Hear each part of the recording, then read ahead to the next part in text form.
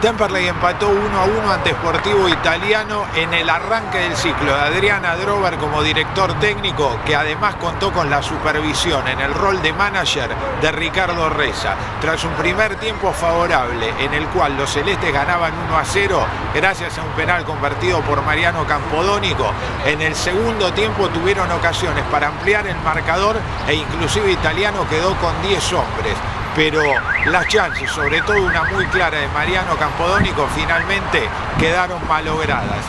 Luego llegó el penal de Federico Astudillo y salvo alguna que otra llegada, el score no se modificó y de esta forma, aún pese a no jugar del todo bien, Temperley se llevó una valiosa unidad. Al término del partido y como es habitual en todo por Temperley, con el trabajo de Elvio Herrera y Alejo García, recogimos las notas en zona de camarines.